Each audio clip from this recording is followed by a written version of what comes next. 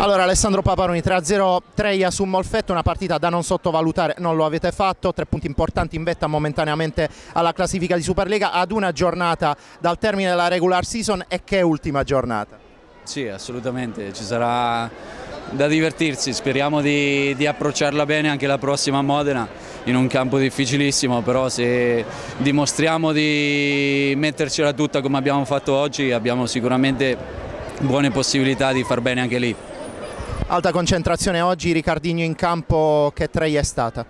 Sì, dobbiamo cercare di farlo entrare un po' nei nostri meccanismi, non è da tanto che è arrivato, quindi non è semplice, però penso che stiamo mettendocela tutta, stiamo cercando di dargli una mano, poi lui insomma non è...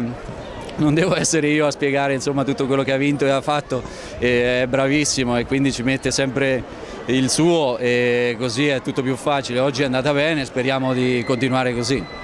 I playoff eh, come si suol dire, sono un altro campionato, eh, concentrazione, tensione al massimo, un obiettivo importante da raggiungere per voi.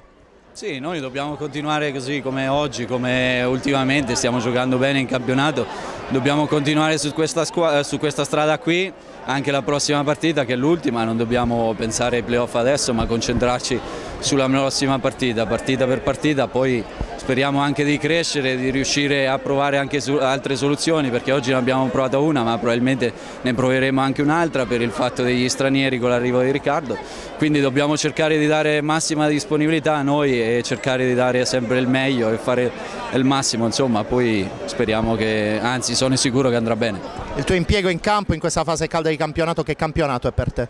È un campionato inaspettato perché dopo la scorsa stagione dove ho fatto molta fatica con eh, un problema importante alla schiena, quest'anno dopo il lavoro che ho fatto quest'estate anche negli Stati Uniti sembra che mi abbia aiutato, quindi sto andando meglio, riesco ad allenarmi sempre, sto riuscendo anche a dare una mano, quindi per me è il massimo.